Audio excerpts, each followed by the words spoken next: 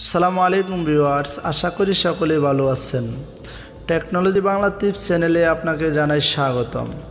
আপনি যদি আমাদের চ্যানেলের নতুন হয়ে থাকেন, তাহলে দয়া করে সাবস্ক্রাইব করে পাশে থাকা বেল আইকনটি অন করে রাখুন। আর যদি অলরেডি আমাদের চ্যানেলটি সাবস্ক্রাইব করে থাকেন থ্যাংক ইউ সো মাচ তো ভিউয়ার্স, আজকে আপনাদেরকে দেখাবো প্লে স্টোরের অ্যাপস অটো আপডেট কীভাবে বন্ধ করবেন। তো প্লে স্টোরের অ্যাপস অটো আপডেট যদি আপনাদের চালু থাকে, তাহলে আপনাদের মোবাইলের ডাটা খুব সহজে শেষ হয়ে যাবে। তো যারা মোবাইল ডাটা ইউজ করেন, আপনাদের জন্য আমাদের এই ভিডিওটি অনেক উপকারে আসবে। তো আজকে আপনাদেরকে দুইটি বিষয় দেখাবো।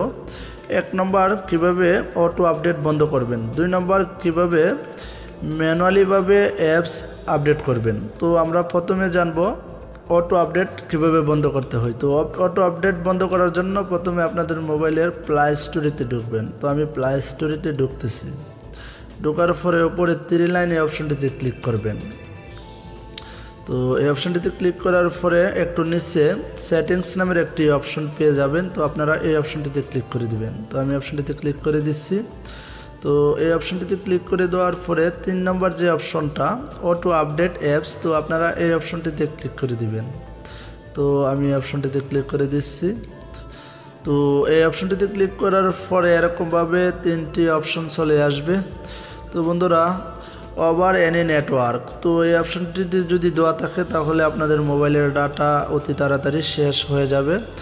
তো আপনারা তিন নম্বর যে অপশনটি এই অপশনটিতে ক্লিক করে দিবেন। ডন্ট অটো আপডেট অ্যাপস তো এই অপশনটিতে আপনারা ক্লিক করে দিবেন, দেওয়ার পরে ডানটে ক্লিক করে দিবেন। তো আমি ডানটে ক্লিক করে দিচ্ছি।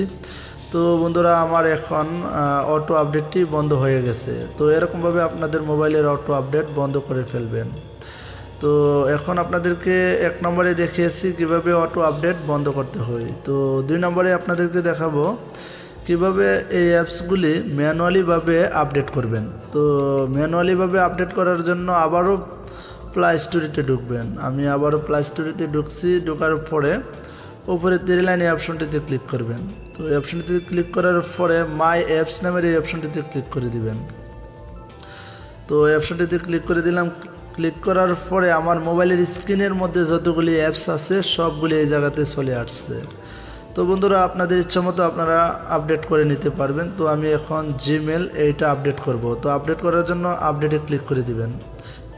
তো এরকমভাবে আপনারা সবগুলি অ্যাপস আপডেট করতে পারবেন ম্যানুয়ালিভাবে তো বন্ধুরা, আশা করি আমাদের এই ভিডিওটি বুঝতে পেরেছেন। কীভাবে অটো আপডেট বন্ধ বন্ধ করতে হয়, কীভাবে ম্যানুয়ালিভাবে অ্যাপস আপডেট করতে হয়। তো বন্ধুরা, ভালো থাকবেন, সুস্থ থাকবেন, আসসালামু আলাইকুম।